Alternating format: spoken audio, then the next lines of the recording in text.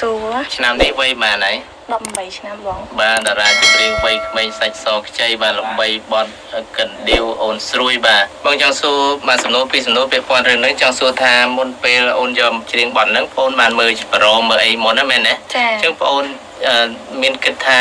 ច្រៀងទៅមានទទួលការរិះគន់ឬក៏ច្រៀងទៅទទួលការគ្រប់គ្រងយ៉ាងម៉េចដែរពាក់ព័ន្ធនឹងបត់ហ្នឹងតាមការអឺ លើកមុនហ្នឹងខ្ញុំអត់គិតថាវាមានការរិះគន់ឬក៏ផ្ទុះដល់ថ្នាក់ហ្នឹងខ្ញុំអត់បានអគិតញ្ចឹងហ៎ចាតើបងអូនយល់ឃើញយ៉ាងណាចំពោះការរិះគន់របស់មហាជនជាការត្រឹមត្រូវទេឬក៏ជាការរិះគន់តាមគ្នាតាមគ្នាអញ្ចឹងណាឃើញគេរិះគន់យើងក៏រិះគន់ដែរតើបងអូនយល់ឃើញយ៉ាងណាចំពោះនឹងអឺការរិះគន់នេះណាបាទសម្រាប់ខ្ញុំខ្ញុំយល់ថាត្រឹមត្រូវសម្រាប់គាត់រិះគន់ខ្ញុំត្រឹមត្រូវយ៉ាងម៉េចបងអូនជួយបញ្ជាក់ថាបន្តិចមើលដោយសារតែបទនេះខ្ញុំយល់ថាវាមានពាក្យ បែបហ្នឹងមែនវាពាក្យដូចថាតាមពិតទៅបទហ្នឹងជ្រៀងអត់បើតាមខ្ញុំខ្ញុំជ្រៀងអត់អត់ឲ្យកន្លោះទេជ្រៀងគ្រាន់តែស្ដាប់ហើយហើយហើយណាអញ្ចឹងណាចាតែអ្នកស្ដាប់គាត់កន្លោះត្រឡប់មកវិញអញ្ចឹងទៅចា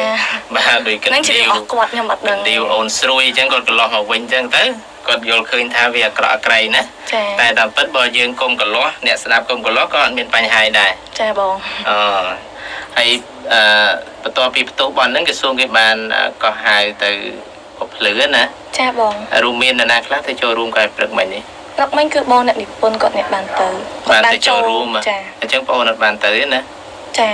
មានទទួលបានដំណោះស្រាយពីយ៉ាងណាពីក្រសួងបន្ទាប់ពីយើងចូលទៅពភ្លឺទៅបកស្រាយប្រាប់ខាងក្រសួងហ្នឹងណាចាដំណោះស្រាយគឺអត់មានបញ្ហាអីទេគឺរឿងចប់អីរឿងហ្នឹងចប់ហើយចាអត់មានបញ្ហាអីទេ ហើយអឺបនហ្នឹងក៏ត្រូវបានលុបពី channel YouTube យើងចោលដែរចាតែប៉ុណ្្នឹងដំណោះស្រាយចប់ហើយចាគាត់មានផ្ដល់អនុសាសន៍អីមកកាន់ក្រុមការងារយើងក៏ដូចជាតារាចម្រៀងរូបអូនផ្ទាល់តែម្ដងឯងតែទៅគាត់អត់មាននិយាយអីក៏គាត់គ្រាន់តែថាលើកទឹកចិត្តខ្ញុំណាហឹមចាគាត់ឲ្យចាញ់បទចម្រៀងដែរល្អល្អជាងនឹងទៀតអញ្ចឹងណា ចាអញ្ចឹងបងប្អូនចង់សុំទោសយ៉ាងណាទៅកាន់ទស្សនិកជនទាំងអស់ក៏ដូចជាមហាជនទូទៅផងដែរបាទនាងខ្ញុំនិងក្រុមការងារសូមអភ័យទោសហើយនឹងទទួលកំហុសគ្រប់ដែលបងប្អូនបានរិះគន់អឺសម្រាប់បទនេះខ្ញុំសូមទោសដែលបានចេញទៅអឺមានការរិះគន់ហើយនឹងប៉ះពាល់ដល់អារម្មណ៍បងប្អូនទាំងអស់គ្នាហើយខ្ញុំនឹងកែខ្លួនកែកំណត់ដែលចេញបទថ្មីថ្មី